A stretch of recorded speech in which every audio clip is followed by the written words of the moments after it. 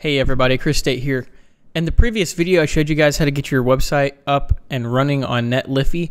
Today, I'm going to actually show you guys how to set up your custom domain that we purchased in a previous episode. If you haven't seen that, it's on my channel. I'll try to post a link somewhere on this video. I don't, not really sure how to put it on the video, but we'll put it on there. What we're going to be doing today is setting up that custom domain. So the first thing I'm going to do is open up Netlify here. That's not Netlify. that was some other development I was doing but Netlify's right here. Uh, I'm going to go ahead and log in on this. All right, now that I'm logged in here, this is not the exact same website that we were working on before. This is one of my client websites. I uh, I went ahead and did this one just because it's more of a complete product, and I'm actually setting up this custom domain so that way they can actually use it now. It's a it's a live project that my client wants, and I want to get it up and running so you guys can check it out when it's done. I'll show you guys real quick what it looks like. There's just some kind of test data on here but this is their podcast website. You can see here their their beautiful cat and uh, their their nice logo for their brunch and brew. It's called Brunch and Brew Podcast. Now, what I'm going to be doing is I'm going to be actually linking the Google domain uh, purchased do- domain to this Netlify. So let's go ahead and do that. You can see down here in the getting started on Netlify that our site is deployed.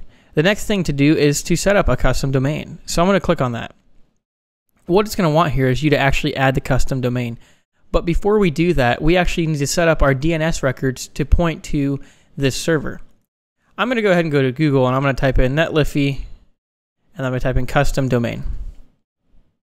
This first link here, I'm going to click on it and you can read through this and kind of understand everything's going on. But what we're going to do is we're actually going to scroll down here to DNS configuration and down here at the bottom, there's a there's a point right here and here's the recommended and here's the alternative. I'm going to explain what this means. Now, a DNS provider, a DNS system, is designed to help you as a user and also you as a developer make your life so much easier. When you go to a website, you don't type in, you know, 192.156. whatever, right? You type in google.com or you type in chrisstayte.com or whatever it is .com, all right? What what we really want to stay away from is memorizing all those IP addresses because whether or not you know it, every time you do type in google.com, it's actually going to an IP address. What actually tells it what that IP address is is called a DNS service or a domain name uh, resolver, right? So basically, when you send it a request, it says google.com. Before it goes to this, before it goes to the web and picks it up, it stops at the DNS server, and the DNS server says, "Hey, I have that IP. I'm going to go ahead and send you where that is." And then when it returns it, it knows where to return it from, right? Now, what they what Netlify wants you to do here, and this is just my personal preference, they want you to give over the rights of a DNS service to them. Now, is that bad? Are you handing over abilities? Not technically, but I like to keep my DNS settings inside of my domain registrar, like Google Domains. I like to keep that control in there so that way everything's in one area. All my settings are in one spot because I'm not actually just using only Netlify. I might later on want to set up an email hosting service or a subdomain, right? And I want to have all those settings there in Google Google Domains. Now that doesn't restrict you from not using Netlify. They're not like if you don't use us, you can't use anybody. What they're saying is saying that's a recommended, but there's also an, alter- an alternative, and that's actually using something called an A record to point your domain to their IP address, and you can see that right here. 104.198.14.52. I'm going to go ahead and copy that, and I'm going to go to Google Domains. You can see now here I have uh, our domain settings, and down here at the bottom, you can see that there is actually a custom resource records. This is where you're going to set up your domain settings. Right here, you're going to leave that at the at symbol, and that's fine. But over here, you're going to type in an IPv4 address, which is an address for Netlify. After you click add, there it is. You're linked up. But what do we do now? We actually need to add another record, and that's a CNAME record. A CNAME record, I'm not really sure all the ins and outs of it, but essentially this allows you to point resolutions, or for example, a website is www to this address, right? So I'm going to type in www, and then I'm going to type in right here, we're going to go to CNAME, and I'm going to type in for this website, brunchandbrew.com. And you can see right there, oh, I'm sorry, brunchbrew.com. And you can see right there when I click add, it's going to add that in there. See that?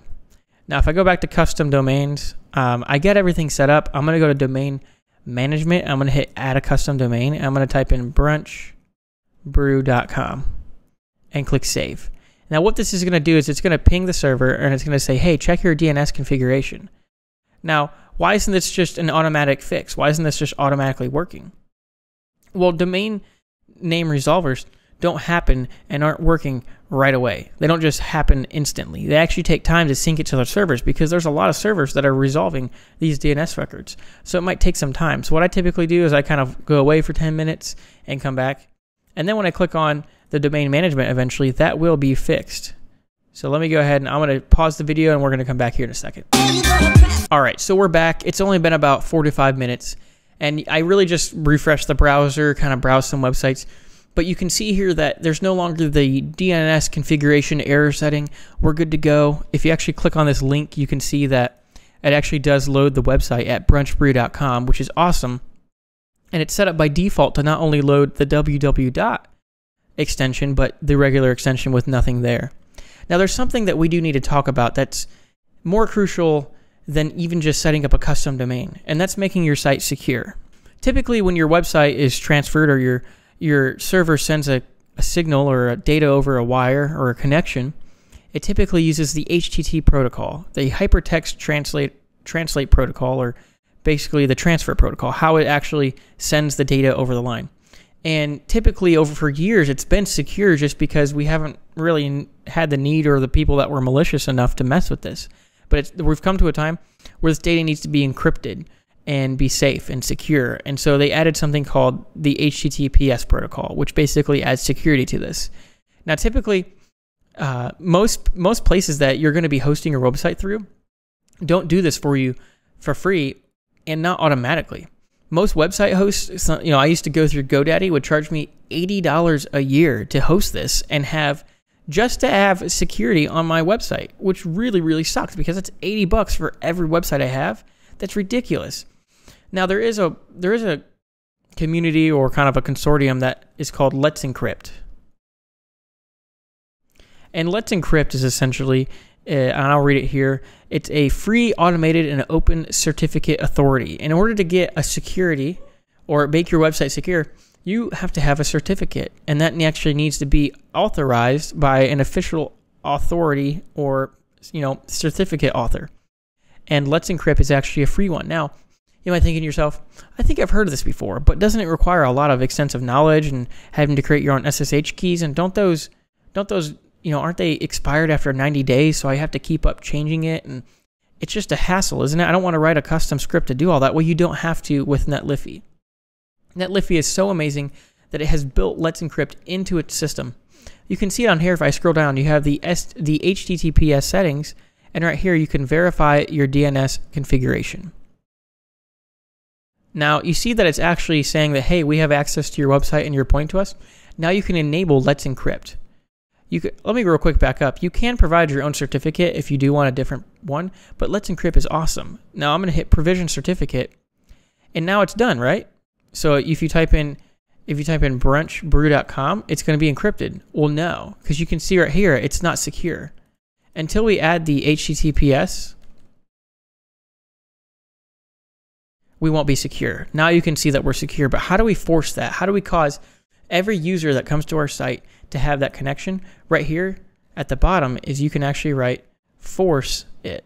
You must have the certificate installed to force it. So I'm going to go ahead and refresh. So that way, oh, actually it just did it for me. You can see right here, it says force HTTPS. I click on that and now it's going to force it. So on this website where it doesn't have it enabled, I click refresh and now it's secure. Now, now that our website's secure, what does that mean for us? What is that? Well, first of all, you get that nice, beautiful green connection. But here's something that's even crazier.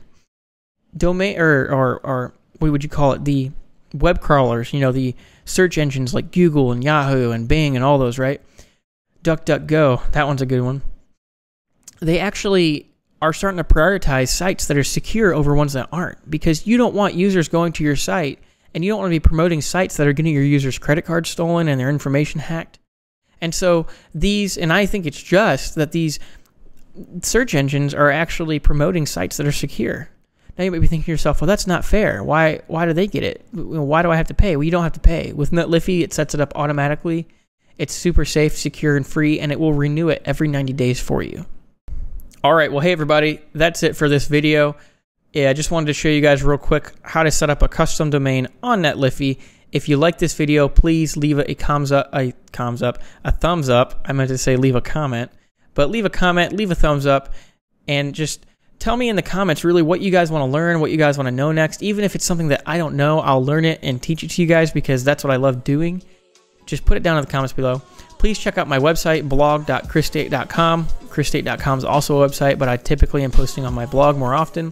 Check out my Instagram, instagram.com slash chrisstayte, and I'll see you guys on the next video.